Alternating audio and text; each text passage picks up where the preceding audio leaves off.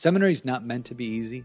It's not supposed to be. And as Catholics, we don't want it to be easy. We want the men to be ordained priests to go through the ringer, to experience like that crisis of faith that I experienced when I was 19. And, and listen, I would experience, you know, other crises during my seminary time.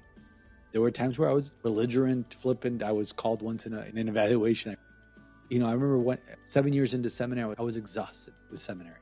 And I remember uh, the spiritual director that I had at the time said, "You think God would put you through seven years of seminary and rigorous work and rigorous formation to pull the rug out from you now